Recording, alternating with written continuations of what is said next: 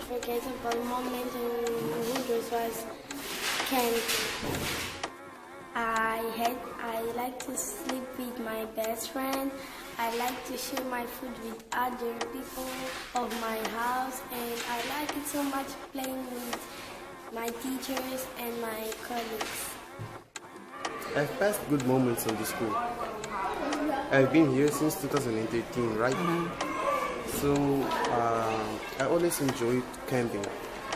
Camping was was incredible and the, the rest of the activities were also good.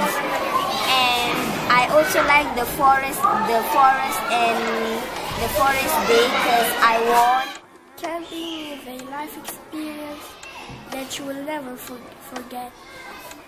The most unforgettable activity I think is the camping because we know each other every single moment and we pass our entire day with our colleagues, teachers and all that when I got my first gold medal in grade 5. Okay.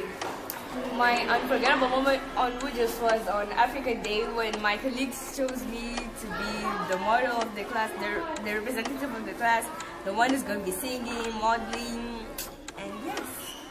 that was my unforgettable experience. Um, my unforgettable experience was probably my first day of school here at Woodrose. Um, the day I actually met my best friend so far. It was in fifth grade, and she was actually the first person that talked to me in this school.